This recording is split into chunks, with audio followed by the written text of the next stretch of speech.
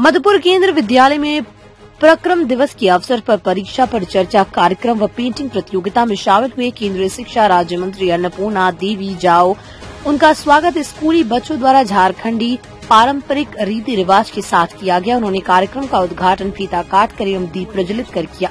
इस दौरान उन्होंने विभिन्न स्कूलों के छात्र छात्राओं द्वारा बनाए गए चित्रकला प्रदर्शनी सहित अटल टिंकरिंग लैब का भी निरीक्षण के बाद मंच पर पहुँची और नेताजी सुभाष चंद्र बोस की जयंती के अवसर पर मंत्री अन्नपूर्णा देवी ने उनके चित्र पर माला व पुष्प अर्पित कर श्रद्धा सुमन अर्पित किए। वहीं स्कूल प्रबंधन के द्वारा भेंट स्वरूप पौधा एवं अंग, वस्त्र व मोमेंटो देकर सम्मानित किया गया। मौके पर केवी के छात्र एवं छात्राओं द्वारा स्वागत गान नृत्य प्रस्तुत किया गया। नई छात्रा सूफिया द्वारा सुभाष चंद्र बोस की जीवनी के बारे में भाषण प्रस्तुत किया गया। मौके पर राज्य शिक्षा, राज्य मंत्री अन्नपूर्णा देवी के हाथों पेंटिंग प्रतियोगिता में भाग लेने वाले पाँच विजेता छात्राओं को पुरस्कृत किया गया। वहीं अन्नपूर्णा देवी ने बताया कि ये बहुत ही संयोग की बात है कि एक ओर जहाँ परीक्षा पर चर्चा के क्रम में आज का ये पेंटिंग कंपटीशन केंद्र विद्यालय की ओर से विद्यालय के बच्चों के साथ ये कार्यक्रम आयोजित किया गया है। इसके लिए उन्हें बहुत ही शुभकामनाएँ। आगे उन्होंने बच्चों के द्वारा पेंटिंग एवं अटल टिंकरिंग लैब के बच्चों को उज्जवल भविष्य के लिए शुभकामनाएँ दी। इस तरह के कार्यक्रम से बच्चों के अंदर उनकी छुपी प्रतिभा को उभरा की भी हो सकता है।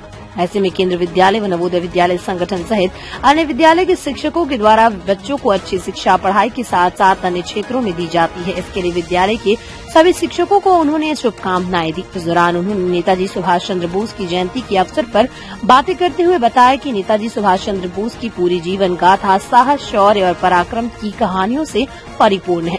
उनका हर संदेश प्रेरक है। मौके पर डीपी पटेल, उपायुक्त केंद्रीय विद्यालय संगठन रांची क्षेत्र मधुपुर केंद्र विद्यालय प्राचार्य मनीष कुमार प्रभात मधुपुर महाविद्यालय प्राचार्य रत्नाकर भारती सहित शिक्षक व शिक्षिकाएँ मौजूद थी।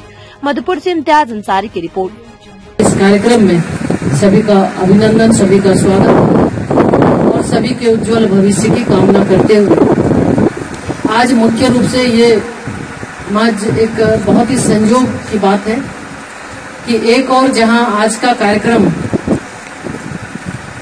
परीक्षा पे चर्चा के क्रम में आज का ये पेंटिंग ड्राइंग कंपटीशन केंद्रीय विद्यालय की ओर से विभिन्न विद्यालयों के बच्चों के साथ आज का ये कार्यक्रम रखा गया है। और अभी इस कार्यक्रम में आने के पूर्व बच्चों के द्वारा जो पेंटिंग्स जो ड्राइंग्स बनाए गए हैं, इसके साथ ही साथ अटल टिंकरिंग लैब के जो बच्चे नए नए इनोवेशन उनके अंदर जो क्षमता है, आज वो देश के लिए क्या सोचते हैं, उन छोटे छोटे बच्चों के द्वारा जो आविष्कार उन्होंने किया है, वाकई हम इसके लिए बच्चों को बहुत साधुवाद, बहुत धन्यवाद देते हैं कि बहुत अच्छे ढंग से बच्चों के द्वारा अपनी मनोभावनाओं को, चाहे वो ड्राइंग के माध्यम से पेंटिंग के माध्यम से, या वो देश के लिए क्या सोचते हैं, आने वाले समय के लिए क्या सोचते हैं, जो अटल टिंकरिंग लैब के बच्चे थे, उनके द्वारा जो प्रस्तुति दी गई है, ये बहुत ही अच्छा है। और इसके साथ ही अभी हमारी बच्चियों के द्वारा जो कार्यक्रम प्रस्तुत किए गए, वाकई में इस कार्यक्रम को देखने से ऐसा लगता है कि आज जो विविधता की बात हम करते हैं और हमारे बच्चों के अंदर छोटे छोटे नन्हे मुन्ने बच्चे हैं। बच्चियों के, बच्चे और बच्चियों के अंदर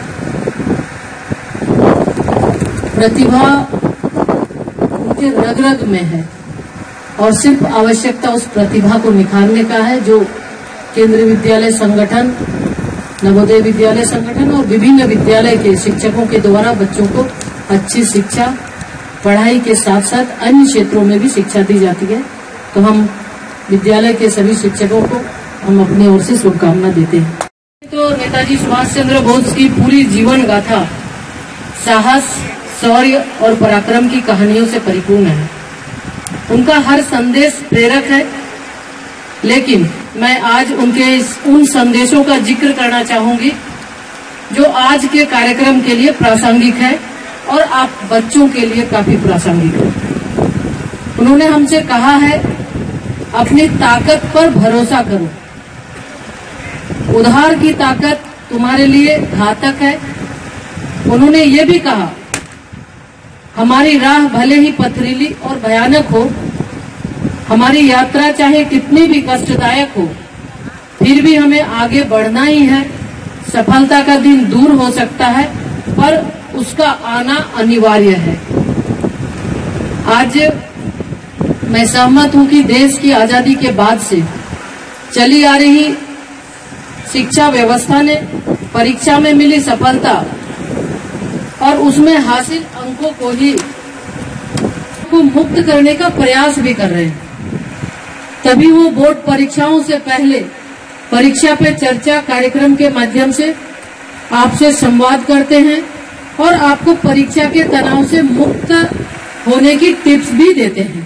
दमदार निर्माण का भरोसा, लाल स्टील टीएमटी बार्स। हर निर्माण के लिए उपयोग लाल स्टील टीएमटी बार्स। रिश्ता मजबूती का।